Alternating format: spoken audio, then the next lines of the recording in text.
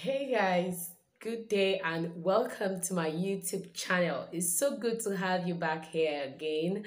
My name is Nurse Blessing Domene. I am a registered nurse midwife and I have been practicing for close to six years now. And in today's video is just a follow-up from the last video about HIV self testing. So please if you are yet to see that video please check the description box. The link to that video is there. Go check it out. So today i just want to be showing you what to expect when you go to the hospital to do your hiv testing. So it's quite different from the self-testing. This is done at the hospital by a professional. So i just want to give you a tip of what you should expect when you go to the hospital to get your HIV testing done. So I will be using the determine kit for that demonstration. So if this is what you'll be interested in, please don't go away. Just stay put. So here on this channel, we'll talk about health, lifestyle, um, faith, we talk about mostly health because we want you to be able to make better health choices for yourself and your family. Then I do a little bit of vlogging, so you might want to check that out too. So let's just go right in to do what we have to do today. So guys, here on this channel, we talk about health, lifestyle, and I do a little bit of vlogging. If that is what you will be interested in, please click the subscription button and don't forget to also click the notification bell so that you will be the first person to know each time I post new videos. This channel promises to be fun, it promises to be educated, it promises to be a lot, a lot of fun. Please don't go. So guys, today, like I said, I will be showing you how to use the Determine testing kit. This is usually done in the hospital by a professional, but you can use the HIV self-testing kit at home, the oral self-testing kit.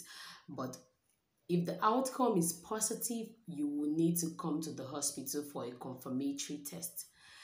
This is not a confirmatory test, but so guys, we will just go straight to the testing. So I'm using the Determine test kit and I'll just peel that open like this.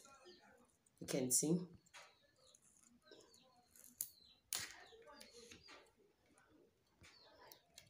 So you can see where this white point here is where the blood gets into and the reading comes straight down here so thereafter, I will pick up the alcohol swab. I don't know if you can see that. This is the alcohol swab pad.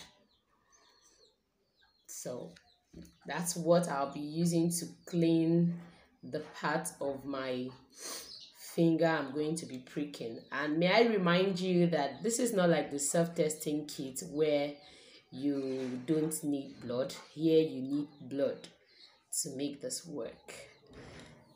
So the blood can either be whole blood, it can be serum. So just clean like so. Thereafter, chop. Then this is a lancet pin.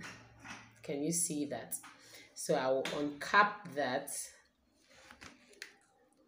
Can you see that? So I'll just go ahead and give myself a little prick gently, gently, gently, gently. Don't ask me if that was painful. Don't ask me. Don't ask me. So I will use the capillary tube. This is the bottle for it, but I've already taken out one that I will use. So I'll just do this. As you can see, the blood is, as I squeeze, I pick out the blood as it comes along. I hope you can see this clearly. I really just hope so.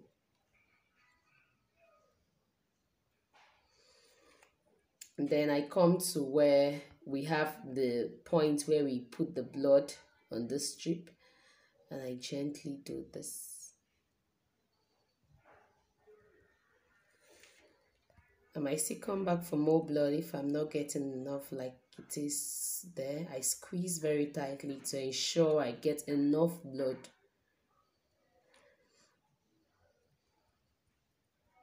So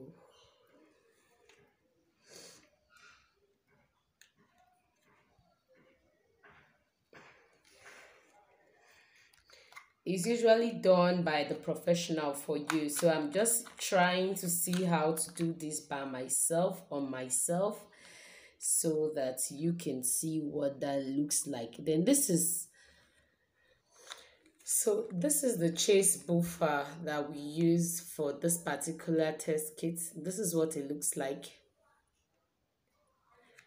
Then you just apply one drop of it. One to two drops just to allow the reading to happen speedily. As you can see, it's reading quite fast. I just hope that is really clear enough for you to see.